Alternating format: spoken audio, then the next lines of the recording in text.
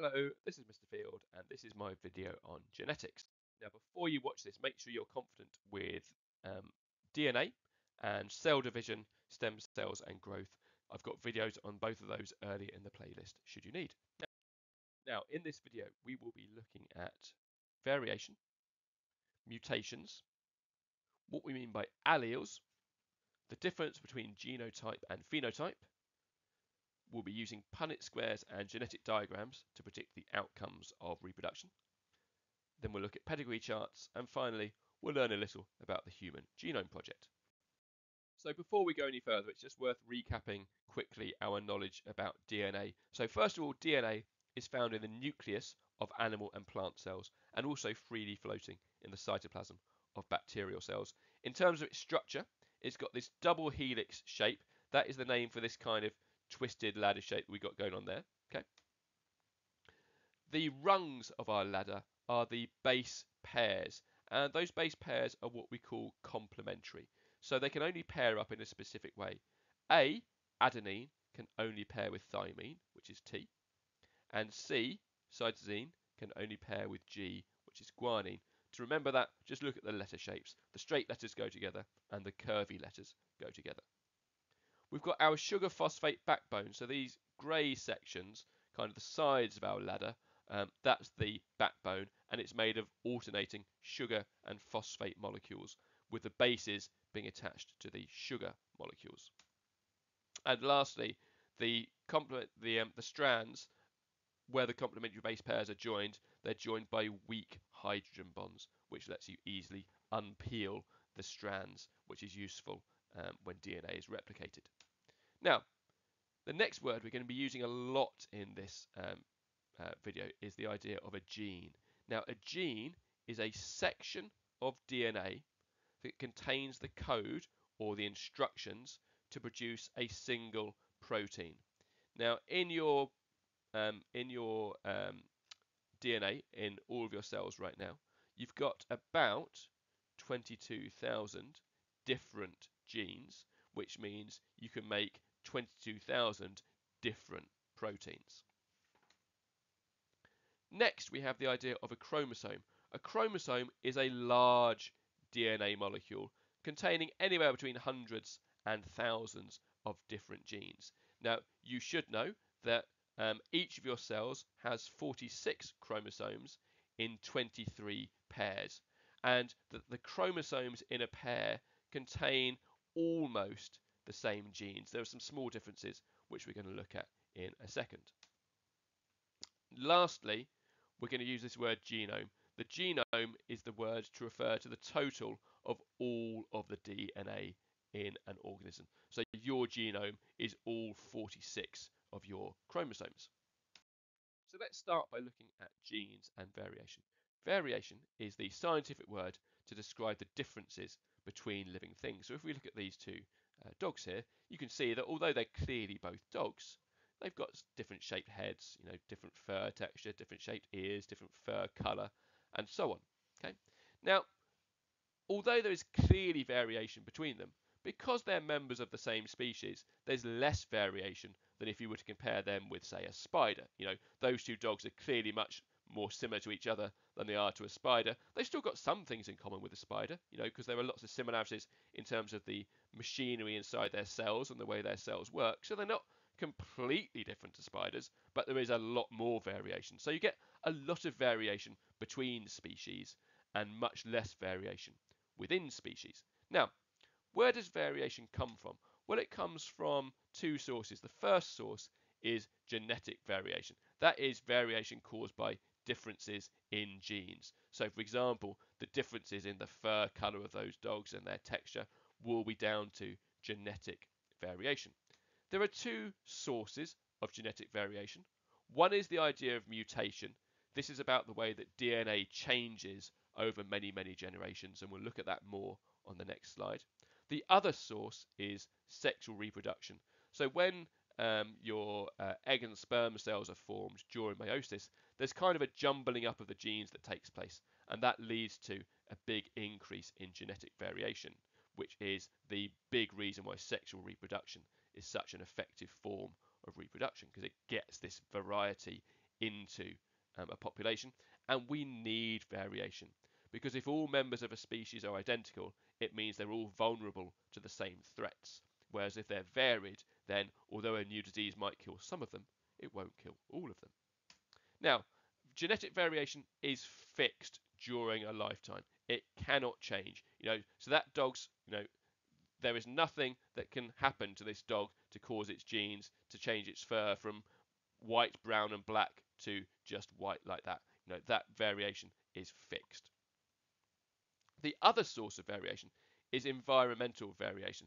So this is variation caused by differences in an organism's environment and the different experiences that it has. Okay. For example, if I take me, I am a, a white male. Let's say I look roughly like that. Now, depending on what happens to me, if I spend more time in the sun, I can become more suntanned.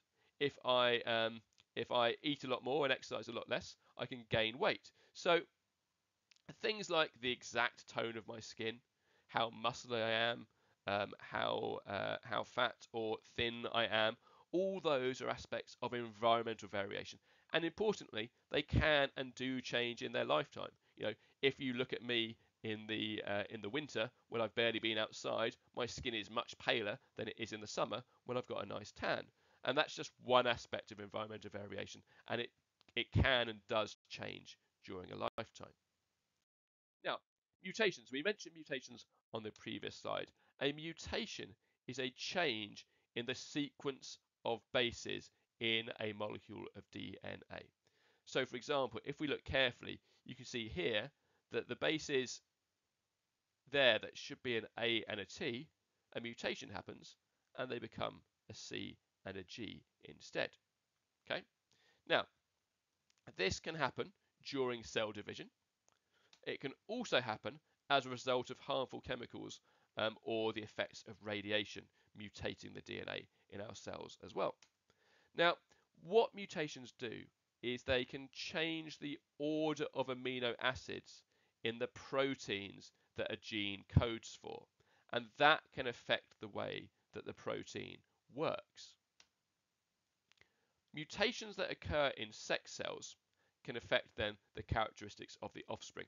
So, for example, you know, if I had a mutation happen in one of my skin cells, it might be that that skin cell will end up dying, but that's you know no major loss. I've got lots of other spare ones to back me up, but that's not going to affect my offspring. However, if there was a mutation in a sperm cell or an egg cell, that mutation would be passed on to every cell in the child that resulted from that. Okay, so most mutations have no effect.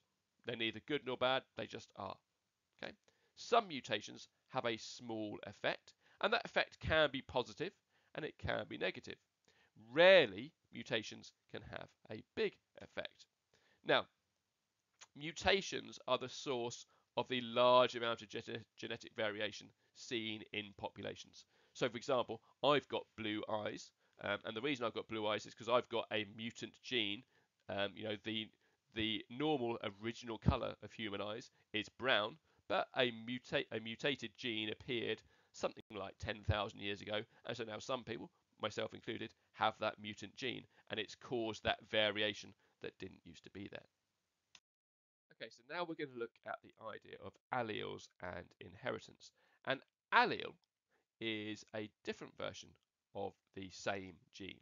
So, you know, it might be the gene for eye color, and that comes in various different um, versions that give rise to the different eye colors. Now, you get two alleles of each gene, and that is one allele on each of the chromosomes in a pair. That also means that you get one allele from each of your parents. So if we look here, this is our chromosome pair, and we've got the same gene, but different alleles of that gene, and one of them has come from, say, the father, and the other one has come from the mother. Now, alleles can be dominant, which means that only one copy is needed to express the characteristic, and we write them with a capital letter, or they can be recessive, which means that two copies are needed to express that characteristic, and we write those with a lowercase letter. For example, if we think about eye colour, there are two main alleles for eye colour. The dominant allele is the brown eye allele, written with a capital B, and that leads to brown eyes, which we can see uh, there. The other main allele is the recessive blue allele, which is written lowercase b, and that leads to blue eyes. And we can see that here. Now, because the blue eye allele is recessive, we need two copies of it to uh, have blue eyes. So I know because I've got blue eyes, I have two copies of the blue eye allele. If I had one brown allele and one blue allele, I would end up with brown eyes exactly the same as if I had two brown alleles. So I need both the recessive copies to give me those blue eyes. Okay, so now we're going to meet a couple of words that we that we'll be using a lot throughout the rest of the video. That is genotype and phenotype. So your genotype is the combination of genes or alleles that you have, whilst your phenotype is your features or your characteristics that result from those genes. Now to remember the difference between these, the genotype, or the geno rather, in genotype sounds a bit like genes, and the f sound in pheno goes with the f sound in features. So geno, genes, pheno, features. It's worth noting as well that your phenotype generally results from multiple different genes interacting. So for example, with your height, it's not just one gene that controls how tall you are, but 40 or 50 genes that all play a small role in how tall you end up being. Now, in terms of your genotype, it can be one of, for any kind of given um, pair of alleles, it can be any one of three combinations. So we can have a homozygous dominant genotype, which means you've got two copies of the dominant allele. It could be a homozygous recessive um, genotype, which means you've got two copies of the recessive allele. And lastly, it can be heterozygous, which means you've got one dominant and one recessive allele. Now, just exploring that language a bit, that word homo always means same. So homozygous means two of the same allele. And hetero always means different. Now, we don't need to say heterozygous dominant or heterozygous recessive because hetero means we've got one dominant and one recessive. So if we apply this idea of genotypes and phenotypes to eye color, it might work something like this. So your genotype for eye color could be homozygous dominant, in which case you've got two dominant capital B alleles, and that will result in the brown eye phenotype, which we see up here. It could be that your genotype is homozygous recessive, where you've got two of the recessive lowercase b alleles, and that will result in the phenotype blue eyes, which is what we see there. Or it could be that your genotype is heterozygous, um, so that is capital B and lowercase b, one dominant, one recessive allele. That's what we see here. And in this case, you would get brown eyes. And the reason why is because with a dominant allele, you only need one copy of it to express that characteristic. Now, using our knowledge of genotype and phenotype, we need to be able to make predictions about the likelihood of um, particular offspring being produced given the genotype of the parents. So we'll work through a few examples. The first one is this. So what is the chance that a man who is homozygous dominant for eye colour, so BB, capital B, capital B, and a woman who's homozygous recessive, lowercase b, lowercase b, will produce a child with blue eyes. Now, we've got two different ways of looking at this that you need, you need to know about both of them, um, but they will both lead to the same answer. So the first thing we can do is what we call a genetic diagram. And it starts like this. So we start off by writing down the genotype for the male, homozygous dominant, capital B, capital B, and for the female, homozygous recessive, lowercase b, lowercase b. Then we think to ourselves, what will their gametes be? What will their eggs and sperms be? Now, eggs and sperms are haploid. That means they've only got one copy of each allele rather than two. And so that will mean that with a man, with a male, all of their sperms will have the dominant allele, and for the female, all of the eggs will have the recessive allele. And so then we just look at how they can combine together, and that works like this. So it could be that they combine like that to produce big B little b, or that, also big B little b, or like that, big B little b, or like that, big B little b. The alternative we can do is what we call a Punnett square. This is a little grid that you have to do. Now, in the exam, you might be given a diagram like this, but you won't be expected to draw one. Whereas um, with the Punnett square that we're about to see, you are often given uh, questions where you have to draw one of these. So again, it's just worth spending a bit of time thinking about. So first of all, we draw out the grid like that. You'll often be given the grid in an exam. And we just have to say that, you know, the rows represent the mother and the columns represent the father. Now, if we remember, the father was BB, that was his genotype. So therefore, his sperms are all going to have the dominant capital B allele.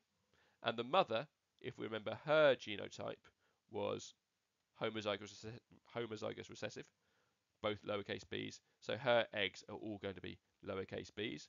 So all we then do is just combine them in the grid like this. So they're all getting one dominant capital B from their father and one recessive lowercase b from their mother. So let's come back to the question.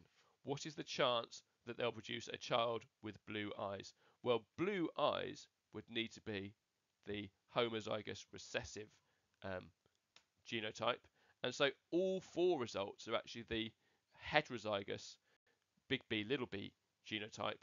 And so that will all produce the brown eyes phenotype. So therefore, there is a 0% chance of a child with blue eyes. Okay. Let's look at example number two. Now, in this one, sickle cell um, is a disease caused when a person inherits two copies of a recessive gene, so little s, little s. What is the probability that the child of two parents who are heterozygous for sickle cell, so big S, little s, will not be affected by it. Let's work this through. Now we're going to start with our genetic diagram. So in our genetic diagram, we draw the genotype of each parent first. So big S, little s, big S, little s, because they're both heterozygous. And then we think about their gametes. So for the male's sperms, half of them will get the dominant big S allele and half the recessive small s allele and the mother's eggs will be the same as well. So half dominant, half recessive. And now we just look at how they can combine. So it could be that the two dominant big S's come together to make homozygous dominant. It could be that a big S and a little s come together to make heterozygous. And in fact, there are two different ways to achieve that. Uh, or it could be that the two little s's come together to produce homozygous recessive. Now, what about our Punnett square? So on our Punnett square, again, let's think about what the genotypes of the parents are first of all. So they're both heterozygous, big S, little s. And then we can use that to work out the genotypes of their eggs and sperms, like this. So both of them, half of the eggs will be um, big S, half little s, and the same with the sperms, half big S, half little s. So now we can combine them to produce homozygous dominant, two heterozygoses, and one homozygous recessive.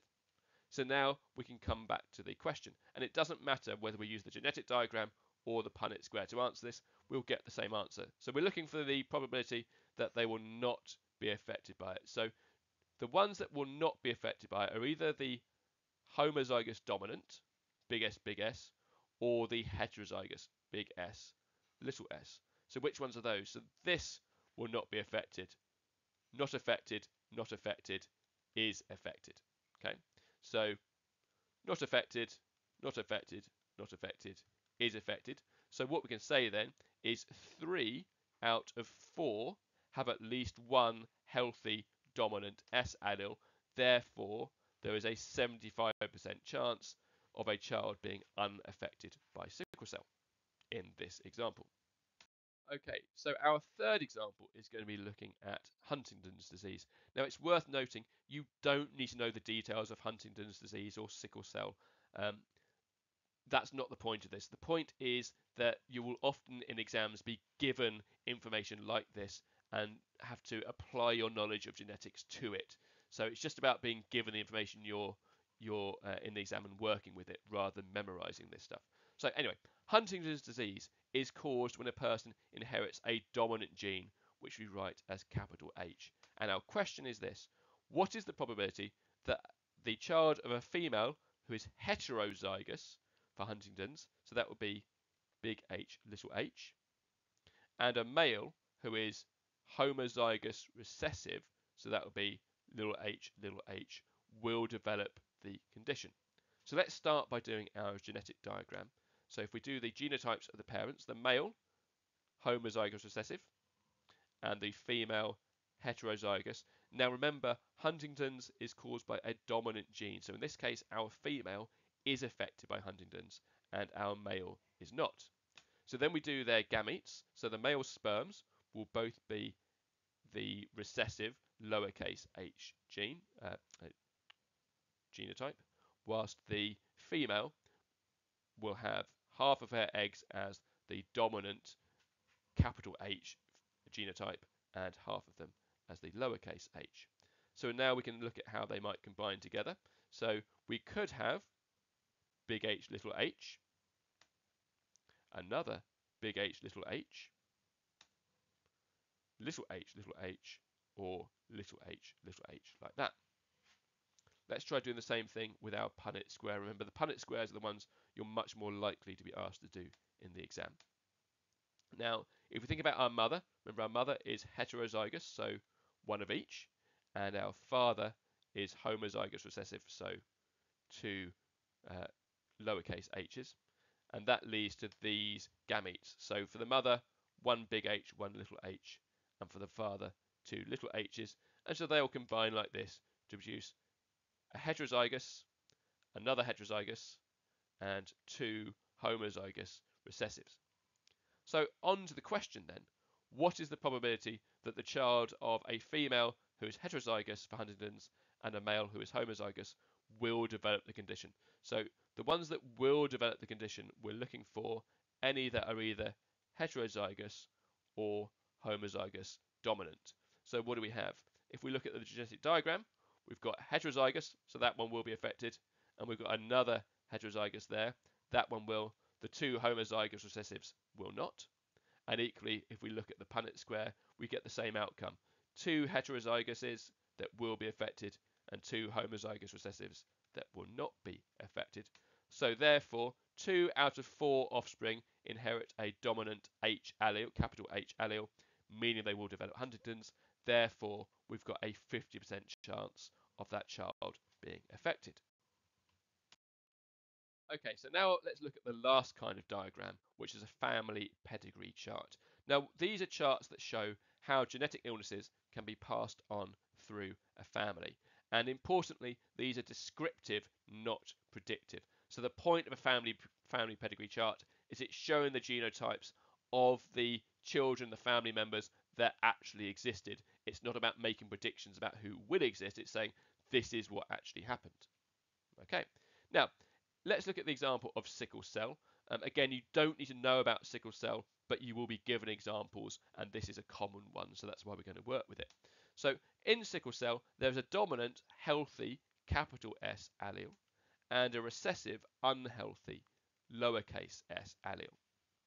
And so a family pedigree chart might look like this. Now, in a family pedigree chart, there's always a key. So a square is normally used to represent a male, and a circle is used to represent a female.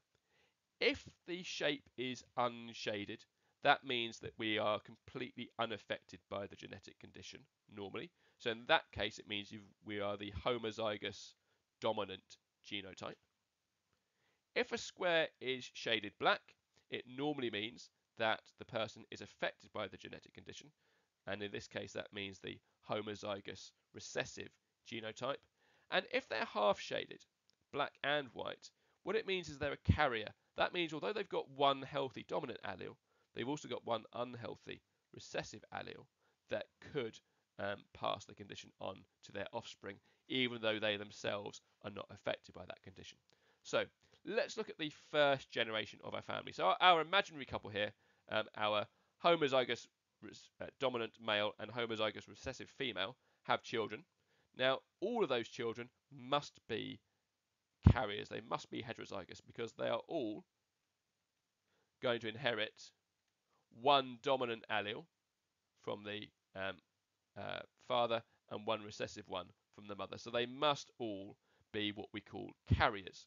Now, let's see. The one on the left is going to have children with a partner. Now, in this case, you know, just the way it worked out, that partner is also a carrier.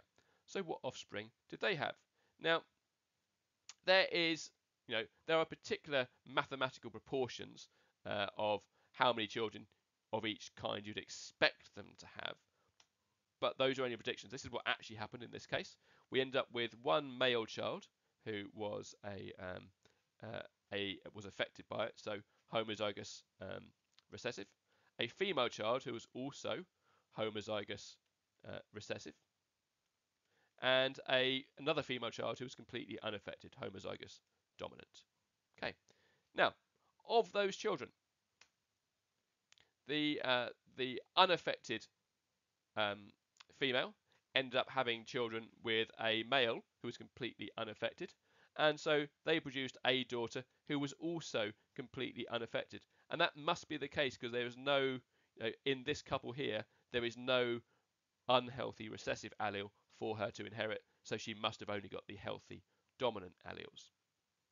Now, let's come back up to our first generation and look up here. So our one of our heterozygous children uh, had children with a unaffected male, so capital S, capital S, okay, and they end up producing a son who was completely unaffected, so capital S, capital S, and also another son who was a carrier, heterozygous capital S, lowercase s.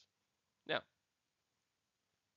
if that son had children with an affected female, this is what happened in this case. So they produced two daughters who were both affected, lowercase s, lowercase s, homozygous recessive. Another daughter who was unaffected but is a carrier, so heterozygous, and a son who was also heterozygous. Now, they all had to inherit at least one recessive allele because the mother only has recessive alleles, but some of them got the dominant good one from their, their father, and some of them got the recessive unhealthy one from their mother. Now, you can see quite quite a lot of interesting things in this. Um, so one of the things that you, you might often hear about genetics is sometimes genes can skip a generation. Genes can't skip a generation because you know they can't just disappear and reappear. But what this shows is the way that the, the traits expressed by some genes do skip a generation. Because, for example, the first generation of our family here, none of them had sickle cell. But because they were all carriers, they were able to have children themselves who then were affected. So that's an example of the characteristic skipping a generation, but the genes definitely didn't skip a generation. Now, these family pedigree charts are super important because they allow families affected by genetic illnesses to make informed decisions about them. So, you know, I know, for example, um, I, I, had a colleague um, who was from an ethnic uh, community where there's a much greater incidence of sickle cell. And in fact, her own sister died from sickle cell. And so she knew there was sickle cell in her family, and she did this kind of pedigree analysis. And she was so so worried about the risk of sickle cell and having grandchildren with sickle cell that she um, she essentially tried to instruct her family don't have children you know with with people from the same ethnic group as us because the risk of sickle cell is too high. Now, I don't really agree with her choices there, but I can certainly understand where she was coming from. Perhaps a better approach, an approach that can be taken, is that if you know there's a genetic illness in your family, is you can have um, counselling and treatment through doctors uh, with, with, doctors to help you make better informed decisions. Um, and there are things that can be done, for example, like um, uh, embryo screening, where you um, you produce some embryos in a um, in, in, in the lab and you only implant the ones into the uterus that have been shown to not have the harmful combinations of genes. The last thing to look at is what we call the Human Genome Project. So the Human Genome Project was a project to map the sequence of all of the 3.1 billion base pairs that are present in the human DNA. Now, this project ran from about 1990 to 2003 and it cost around 3 billion US dollars. Now, with modern technology, we can achieve the same in about five hours for about $600. So, you know, this was a massive, massive achievement, and it's enabled this huge development in technology that now makes this same achievement actually quite an easy thing to do. Now, you don't need these details here, that's just there for context, but you do need to know that this is what the Human Genome Project did. Now, this was a really super important thing with lots of benefits. So benefit number one is it helps us to identify genes associated with illnesses. So for example, with breast cancer, this is an x-ray of a healthy breast and that there is a tumour in someone with breast cancer. Now, there are particular genes called BRCA1 and BRCA2 that make it much more likely that um, someone will develop breast cancer. And so you can now get genetic tests to test whether you've got those genes, and that helps you make decisions about your health kind of choices that can reduce those chances of getting breast cancer. So, you know, a lot of women, when they learn they've got these genes, they choose to have their breasts removed and replaced with prosthetic breasts because that means they can't get breast cancer and they can't die from it. In fact, the, the film star Angelina Jolie made exactly that choice. Um, that would not have been possible without the Human Genome Project doing that work to sequence the genome in the first place. Another important benefit is understanding, identifying, and treating genetic illnesses. You know, for example, things like sickle cell or Huntington's, and some of the other things we've looked at in this uh, video. It helps us to map and to analyze and to understand human migration patterns and human evolution. So that's the Human Genome Project, sequencing the um, the bases in DNA in order to help with both medicine and our wider understanding of the history of the human race. Okay, so that's it, the end. As always, thank you for listening and well done if you got this far.